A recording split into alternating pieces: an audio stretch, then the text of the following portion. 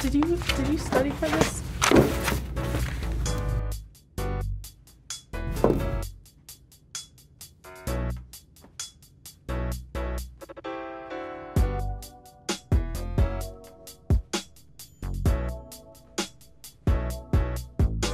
Shazam!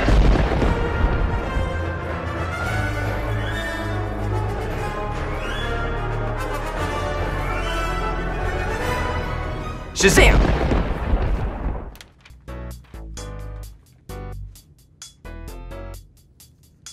We should do that more often, like me helping you act and you help me with art maybe or something like that. You don't like my acting? Nah, it's kind of bad. Well, I guess if you want to see better acting, you could check out Coco's second annual film festival. Come watch student-made films by students from CHS Digital Media, Film and TV, and the school at large. Everyone who attends gets one vote using your FUSD computer login, but you can vote from many devices. Hosted by Digital Media and our own Jack Stone. It's happening next week, Tuesday, Wednesday, and Thursday, April 16th, 17th, and 18th, in the Mini Auditorium, all lunches.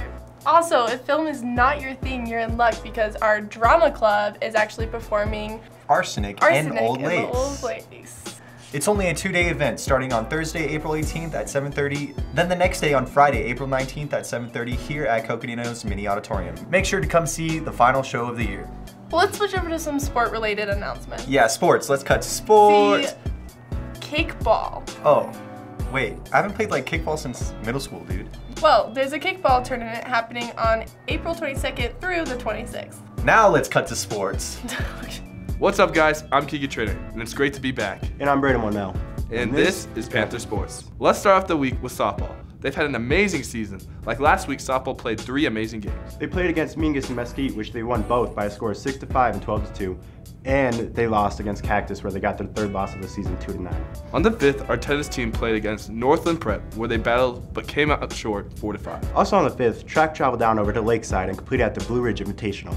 Then on the 6th, they traveled down to Sedona, where they took second. Before we move on to this week's games, most of the games this week are being played Thursday and Friday. We might not be able to get the scores. And also, beach volleyball had a game against Scottsdale Christian. And on Thursday, Dysart the next day. Okay.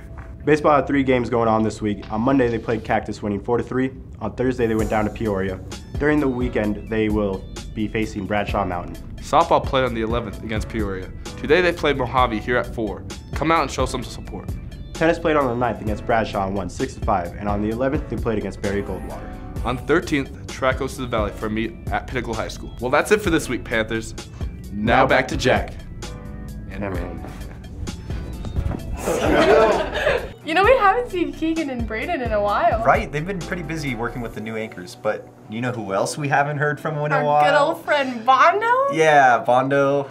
Good morning, Panthers. This is Assistant Principal Steve Bonderud, aka Bondo, with a few statistics and safety reminder. 2015, 5,376 pedestrians and 818 bicyclists were killed in crashes with motor vehicles.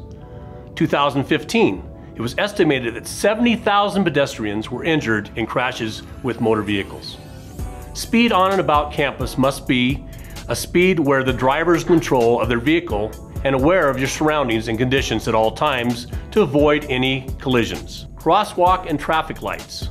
It's been reported that during lunches, CHS students are crossing on red lights and outside of the crosswalks at the intersection of West and Cedar, heading to the Safeway shopping plaza. Please pay attention to the traffic lights and use the crosswalks. Attention to traffic lights and, and use the crosswalks.